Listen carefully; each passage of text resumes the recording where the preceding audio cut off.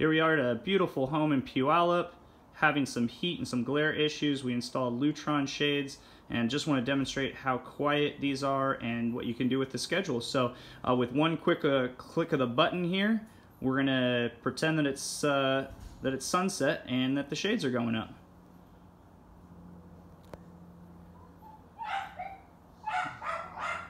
All right.